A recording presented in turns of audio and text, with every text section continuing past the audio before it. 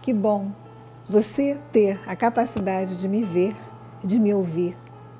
Louvado seja Deus por você ter a capacidade de raciocinar. Você já parou para pensar em coisas que são tão cotidianas, tão corriqueiras, que às vezes nós não nos damos conta de quão abençoados somos? Você já parou para pensar que esse veículo enfim, nessa mídia que você está tendo acesso ao nosso programa, ao programa da Igreja Cristo Vive, é uma bênção na sua vida? Você já parou para pensar quão bom o Senhor tem sido para você? Você já deu graças a Deus hoje pela sua saúde, pelo seu lar, por tudo aquilo que você já conquistou nesta terra? Ou você está apenas focado ou focada naquilo que você ainda não tem? Porque o ser humano tem uma característica muito interessante. Nós, às vezes, olhamos tudo aquilo que o outro tem, né? A grama do vizinho é sempre mais verde, aquelas pessoas conquistaram e têm tantas coisas. Vamos, vamos amadurecer. Como diz Paulo, vamos ser pessoas experimentadas. Se alguém tem muito, glória a Deus. É seu? Não. Então, vá atrás dos seus sonhos, vá atrás das suas conquistas. Pare! A Bíblia diz que nós não podemos invejar o ímpio. E hoje em dia, através das mídias sociais, né, e tem muitas plataformas que fazem com que você se sinta a pessoa menos afortunada, porque tem sempre alguém que tem mais que você. Olha, desde que o mundo é mundo, sempre tem aquelas pessoas que têm muito, tem aquelas pessoas que quase nada têm, e tem pessoas que nada têm realmente, mas que são felizes. Porque a felicidade, a gratidão, as questões que Deus traz às nossas vidas, elas são e vão muito além do que se pode pegar. Talvez ter um milhão de euros é pouco para alguns. Talvez ter 100 mil euros é muito, é demasiado para outros. Talvez ter um pouco de saúde uma visão perfeita e uma audição boa como esta que você tem vale mais do que milhares zilhões de reais, de dólares, enfim, de libras. Comece a pensar agora, comece a fazer uma avaliação. Nós estamos chegando no final de um ano que não foi fácil para ninguém.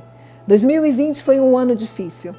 Mas nós recebemos uma palavra do nosso profeta, do nosso apóstolo, dizendo que, em detrimento de ter sido um ano difícil, como um efeito dominó, muitos caíram e ficaram desestruturados.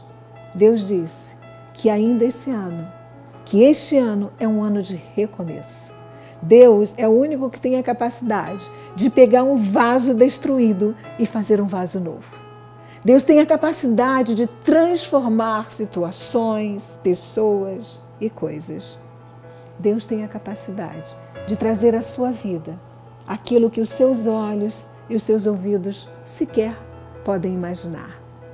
Mas é importante que você esteja com esses mesmos olhos, esses ouvidos e seu coração aberto para entender que tudo aquilo que nós temos, tudo o que nós venhamos a ter, pertence ao Senhor. Então, seja grato, seja grata. Seja grata pela saúde dos seus filhos, Seja grato. Ah, mas eu não sou grato porque eu perdi o ente querido, uma pessoa que eu amava muito. Seja grato pelos anos que esta pessoa conviveu com você. Seja mais grato. Hoje o tema é gratidão. Quando nós não somos gratos, nós nos tornamos as pessoas mais ingratas do mundo. Sabe por quê? Porque nós somos evangélicos. Nós somos cristãos, nós sabemos que tudo o que temos, que nós somos o que somos pela graça de Deus, e como não sermos gratos?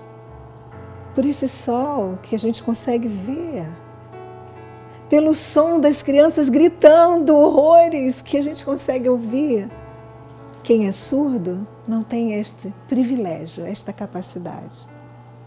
Opte por ser uma pessoa grata a Deus. Ah, mas o que eu tenho ainda não é perfeito. O que você tem feito para aperfeiçoar o bom que Deus já lhe deu?